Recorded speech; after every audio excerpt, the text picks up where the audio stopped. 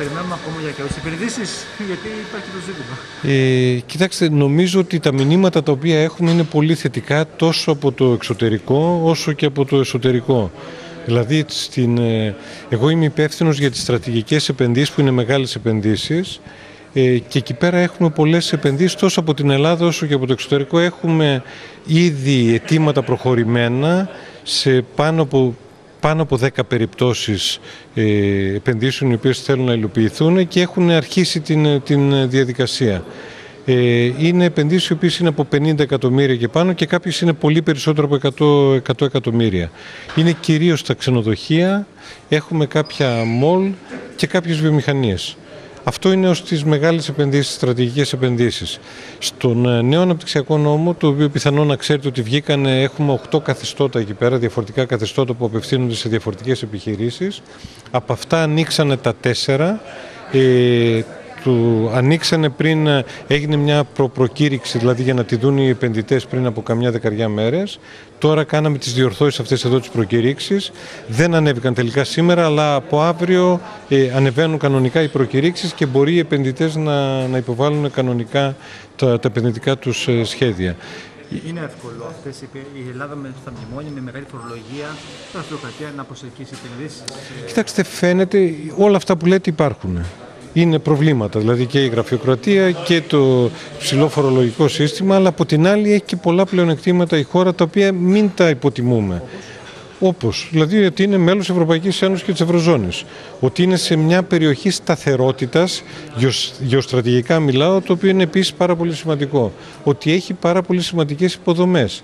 Και κυρίως αυτό το οποίο αναγνωρίζουν οι ξένοι επενδυτές είναι ότι έχει ένα ανθρώπινο δυναμικό το οποίο είναι εκπαιδευμένο, πολύ καλά εκπαιδευμένο και αυτό θέλουν να αξιοποιήσουν πολλές επιχειρήσεις οι οποίες θέλουν να έρθουν από το, από το εξωτερικό. Δηλαδή λένε ότι πολλούς από τους Έλληνες επιστήμονες κλπ τους αξιοποιούμε ήδη στη χώρα μας, στη Γερμανία, στην Ελβετία, στην Ιταλία κλπ. Θέλουμε να έρθουμε να κάνουμε τις επενδύσεις εδώ. Και προφανώς σκέφτονται και άλλα πράγματα. Δηλαδή ότι στην Ελλάδα ότι έχει καλές υποδομές, ότι έχει καλό κλίμα, ότι είναι τα, τα ενίκια είναι πολύ ευθυνότερα να νοικιάσει, να αγοράσει ένα ε, γραφείο κλπ. Ότι είναι πολύ φθηνότερο. Έχει και πολλά άλλα συγκριτικά πλεονεκτήματα. Έχει μια ποιότητα ζωής που για τα ταλέντα, τα λεγόμενα ταλέντα το, που, που αναζητούν οι επιχειρήσεις έρευνας και ανάπτυξης κλπ. Ότι θέλουν μια ποιότητα ζωής κλπ. Που τα προσφέρει αυτά η χώρα. Αυτή τη στιγμή στην Ελλάδα στις κρίσεις στα έξι χρόνια, τι ύψους εκατομμυρίων ευρώ έχουν γίνει επενδύσεις; Κοιτάξτε, έχουμε ένα ζήτημα ότι υπάρχει μια τεράστια αποεπένδυση τα τελευταία χρόνια, τα τελευταία 7 χρόνια, την οποία την έχουμε εκτιμήσει σε περίπου 80 δις, από επένδυση μιλάω, δηλαδή. ότι, ότι έλλειμμα επενδύσεων, δηλαδή ότι έπρεπε να γίνουν επενδύσεις οι οποίες δεν έγιναν κλπ. Οι αποεπενδύσεις αυτές είναι πολύ, ένα πολύ υψηλό ε, ποσό, το οποίο θέλουμε να καλυφθεί. Ο μόνος τρόπος για να καλυφθεί είναι με ιδιωτικές επενδύσεις, δηλαδή να μπορέσουν να γίνουν ελεκτικοί σε ιδιωτικές επενδύσεις.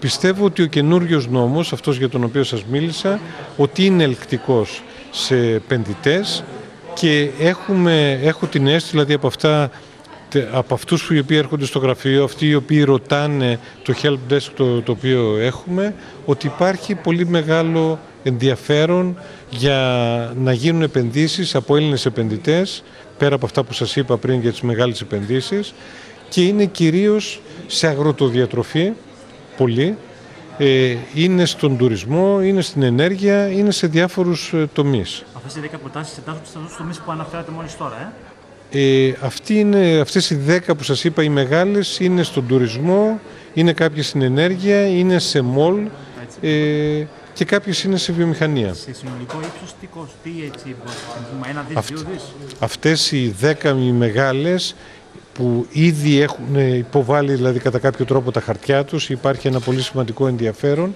και είναι στα πλαίσια των στρατηγικών επενδύσεων, είναι πολύ παραπάνω από ένα δις οι επενδύσεις οι οποίες πρόκειται να γίνουν στα πλαίσια αυτά. Όχι, συνολικά. συνολικά. Από την αποεπένδυση των 80 δις, πόσες θέσεις εργασίες χάθηκαν Χάθηκαν πολλές. Τώρα δεν μπορώ να σας εκτιμήσω ακριβώς, αλλά χάθηκαν πολλές και γι' αυτό είμαστε στην κατάσταση αυτό με το 1,5 εκατομμύριο, με το 1,5 εκατομμύριο ανέργους.